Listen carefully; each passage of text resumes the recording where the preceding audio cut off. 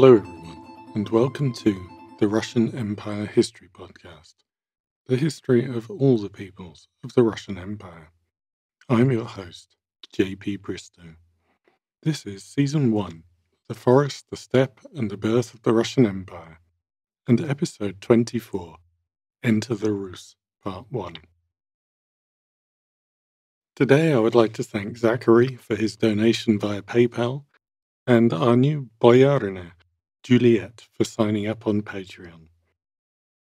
And thank you to anyone supporting the podcast by sharing with friends or leaving a review. The end of the year is in sight, and we are approaching a watershed in the podcast.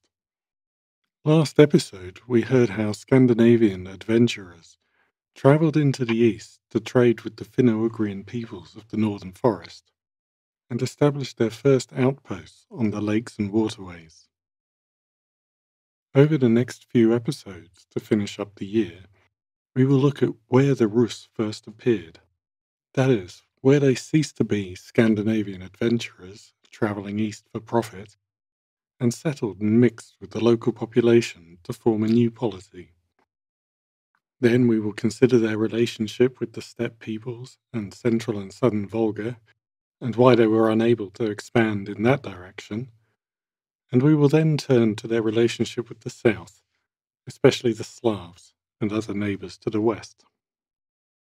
Finally, we will look at Rurik and the origins of the Rurikid dynasty. Did he even exist? What do we actually know about the first rulers of Rus? Plus a couple of member episodes and a special episode if I can get the interview scheduled. And that, dear listeners, will finally bring to an end the period where we are groping blindly in the dark, attempting to reconstruct what happened from archaeology and foreign reports, and bring us into the bright sunlit age of written history, kings and princes we know definitely actually existed, when they were born, when they died, and all kinds of other exciting details. I should make another note about nomenclature here, as so far I've been a bit casual.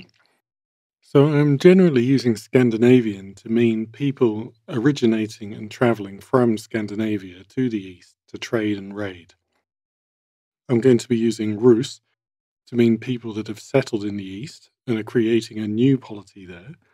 They are mostly of Scandinavian origin, but there is plenty of mixing with the indigenous population from the very beginning, and the Rus are not by any means ethnically exclusive. Obviously, these two categories will overlap to some degree for a while. Scandinavians did not stop travelling east just because someone else had decided to settle down, and it was natural for the movement to continue and for the Rus and Scandinavians to have dealings with each other. As we shall see, the Rus were part of the wider Scandinavian world, which at this time stretched from the Volga to Iceland, Britain, and Ireland. Varangians is a term that only appears later, well after what we are looking at here, only once the Rus are well established. It is used primarily to refer to warriors, usually part of a war band, who typically travel around and undertake paid military service for various rulers, from the many princes of Rus to the emperor in Constantinople. It is this activity that earns them the name rather than any kind of ethnic origin, and the Varangians included Scandinavians, Rus, Finnic and Turkic people who had joined with the Rus, and others such as the English. So at this point in our story, we're not going to look at the Varangians. So, in this episode, we look at the first part of how we got from those Scandinavian adventurers to the Rus as an expanding power. And this means asking two basic questions who and where. You might think that when should be one of those questions too, but the when is fairly clear, at least as far as the period when it happened, rather than the Rus appeared at 1132 on Tuesday, 4th October 821. As discussed in the previous episode, those first Scandinavian traces at Staraya Ladoga and Sarski Fort and other places in the forest can be dated to 750 780. So that sets our lower bound. The first people with Scandinavian names appear in Byzantine records in the 820s, and coins with Greek names scratched into them dating to the early 800s have been found on the Gulf of Finland. While not absolutely conclusive, this evidence strongly suggests the Scandinavians had made contacts with the Greeks on the northern side of the Black Sea by the early 9th century. Sometime after this, there was a raid at a town called Amastris on the southern shore of the Black Sea. The provenance of this raid is rather controversial, as the sole record is a hagiography of a local saint written 20 years later and some scholars argue that the raid was a later insertion in the story. Other scholars argue that the whole tale is nothing more than a garbled version of the well attested Rus expedition of 860. Against this, we can set the assumptions that such raids were natural for the Scandinavians. They were, after all, known for raiding across the known world, and that this was indeed just around the time that they reached the Black Sea. This means that a raid of this kind would have been perfectly in character for them, and so it is quite possible that this is indeed the first record we have of the Rus. And then in 838, we have the arrival in Constantinople of the so called Rus embassy, which has already come up a couple of times the one that Emperor Theophilus sent on to Louis the Pious for assistance in returning to their homes because of hostile forces on the route they had followed south. These men, which the Byzantines identified as Rus, which seems to have been a word that they understood as having a clear meaning referring to some northern polity, Louis claimed to recognize as Swedes and completely discounted their tale. So that gives us the upper bound for the period. Sometime between 780 and 838, a political force appeared that identified itself as the Rus, whose ruler, in his dealings with foreign powers, claimed the title of Khagan, or Kaganus, as the Byzantines called it, and who sent embassies out to other nations. That's quite a short space of time to go from one trading village on a northern lake to a kingdom, so it's quite possible that we are actually looking at the first steps of what was only a recently formed kingdom at the end of that period. And the embassy to Constantinople was intended to announce this new power and acquire the legitimizing prestige of Byzantine recognition and relations which would also explain why Louis the Pious doesn't yet know who they are. So, if we know the when, let's look at the where. There are several candidates for the home base of the Rus Khagan. Stara Ladoga, obviously, is the first Scandinavian town we know of, but also Sweden itself. Rurikovo Gorodishche, a fortified settlement up the Volkhov from Stara Ladoga, where the river exits Lake Ilmen, and the region of the Upper Volga. You might be thinking, what about Kiev and the Middle Dnieper, given that they would become the centre of gravity for the Rus? But the archaeology rules them out for this period. We'll look at this in more detail in a couple of episodes when we look at the Rus move south into Slav populated areas but essentially, although we have evidence of a settlement on one of the hills that would become Kiev, in the period we are looking at here, it was barely getting started. Some of the dating is controversial, but there were Slav semi subterranean houses, a walled compound, and a platform or foundation. Whether it was a strictly Slav settlement with the platform serving as a religious center of some sort a Khazar fort with local Slav residents and a tower built on the foundation of the supposed platform is still disputed. But there is a general consensus that Kiev was not significant at this time. Kiev will undergo a sudden building boom and transformation at the beginning of the 10th century, which is still a little bit ahead of what we're talking about here. Sweden is rather the outlier here, but there are some scholars who think it is the best fit for the route of the ambassadors described in the Byzantine sources. A lead seal bearing the name Theodosius has been found at Hedeby, which has been linked to a Theodosius who was the Byzantine emissary to Lothar I, Louis the Pious' son, who was governor of Bavaria from 840 to 842. In this interpretation, he could have been following up on the Rus embassy by visiting Hedeby which, as noted in the previous episode, was one of the Baltic termini for the eastern routes. Silver dirhams were reaching Birka by this time, and it's believed that the majority of the early trade went via the Khazars. So it is possible that the Swedes had learned the term Khagan and might use it when communicating with the peoples of the south. We don't need to take the fact that Louis the Pious declares that he does not know of Rus Kagan at face value. There were various claimants for the title of Kagan, which, as you know, implies rulership over neighboring peoples. So acknowledging the title was a political issue.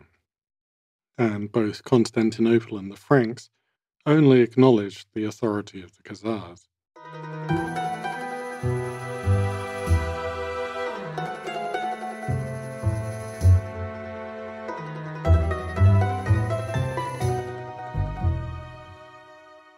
Stara Ladoga might seem like the primary candidate as the first Scandinavian town in the east, but its openness and lack of fortifications do not suggest the kind of stronghold a new ruler would be looking for.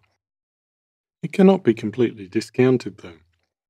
Most of the settlement has still to be excavated, and so it remains possible that there is something there that could have been an appropriate base for the upstart Khan.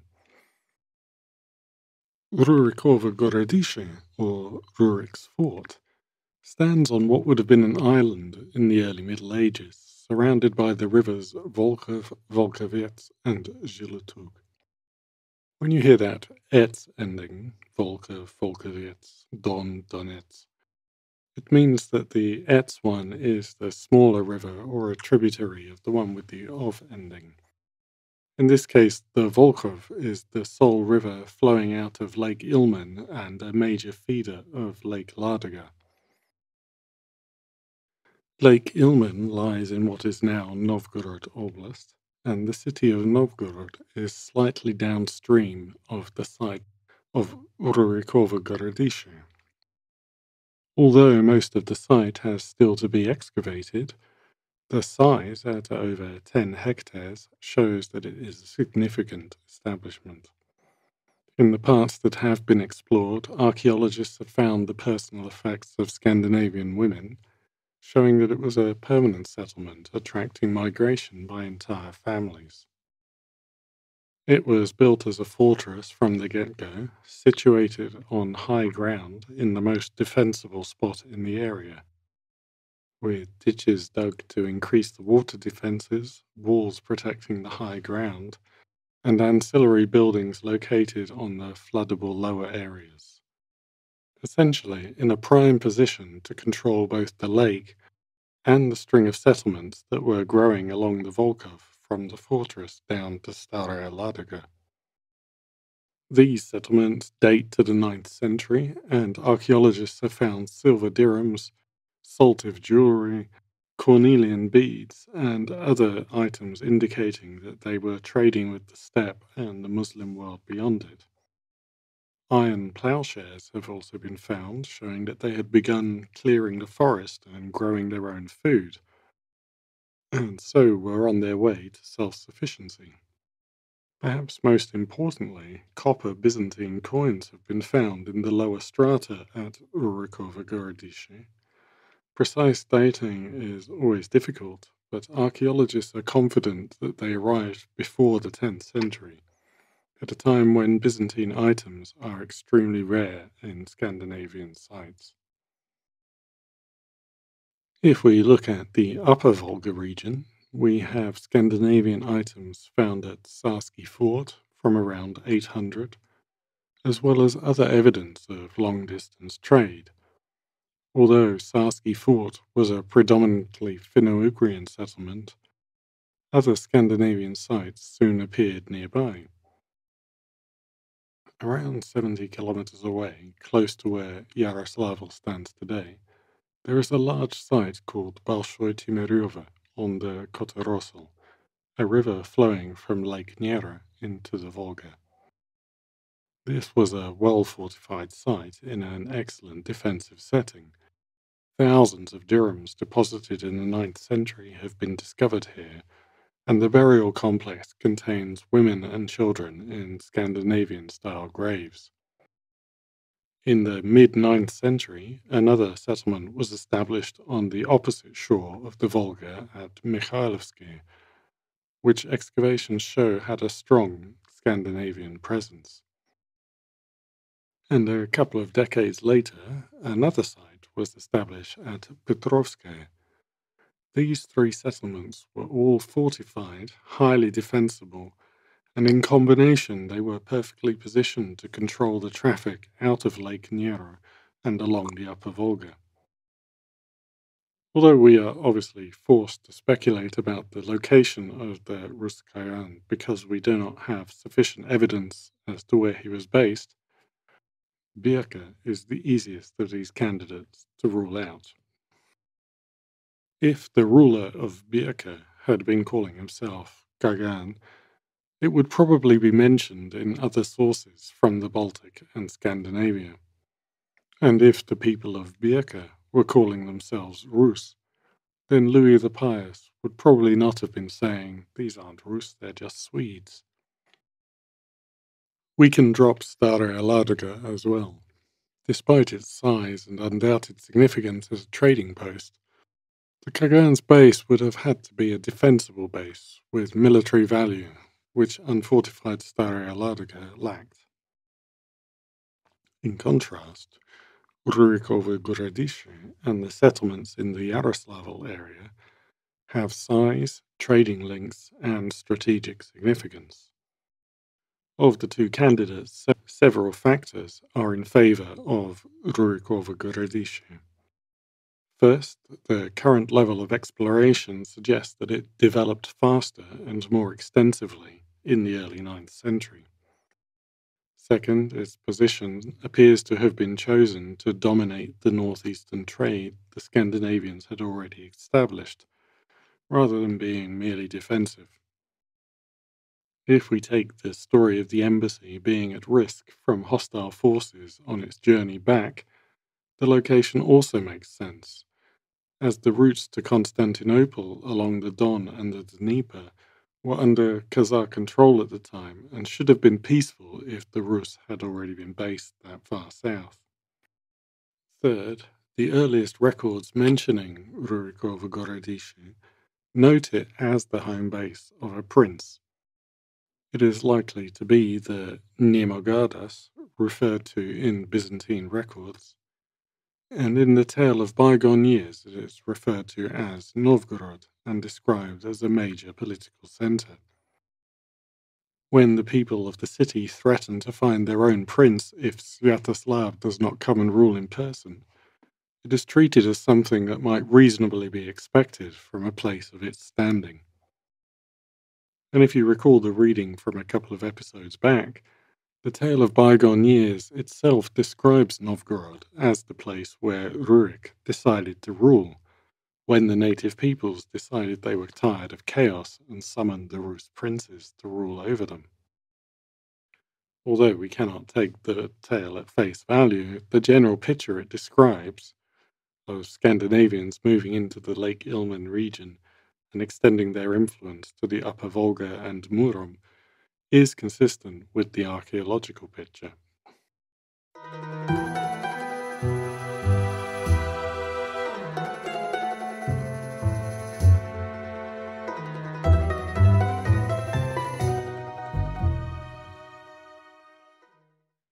The first Islamic descriptions of the Rus, which come from the geographer Ibn Rusta, was written at the beginning of the 10th century. It describes the Rus as living among forests and bogs on an island surrounded by lakes. The king is known as the Kagan of the Rus. The Rus have many towns and live by raiding the Slavs and selling furs and Slav slaves. This also fits with the Scandinavian name attributed to Novgorod, Holmgarth, which means island compound. So there are good reasons for accepting Rurikovo Gorodishche in Novgorod as the base of the Rus Khagan who sent the embassy to Constantinople. But this does not mean that we should accept it as the focus of a centralized state.